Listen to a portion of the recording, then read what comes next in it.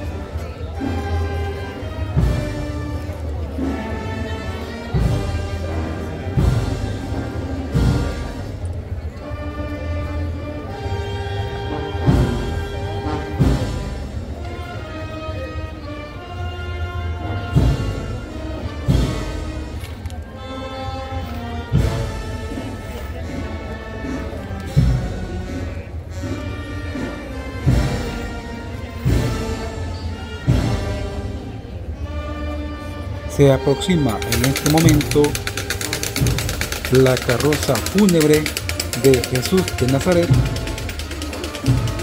que he llevado hacia el sepulcro. También le acompañan otras imágenes como la Madre de Jesús y otras mujeres que le acompañaron hasta el lugar donde fue sepultado.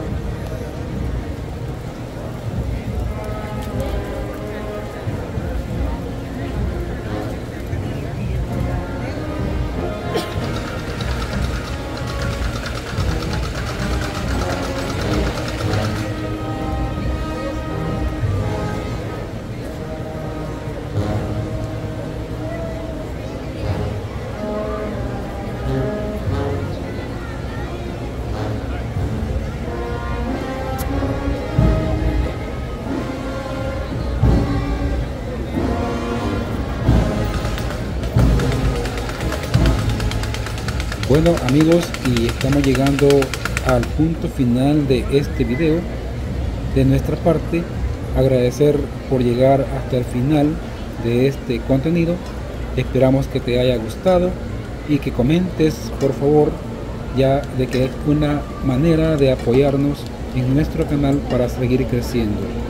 Te deseamos muchas, muchas bendiciones y esto era lo que teníamos para El Salvador y el mundo, mostrando la verdadera identidad, la religiosidad católica de parte de la población salvadoreña. Hasta pronto.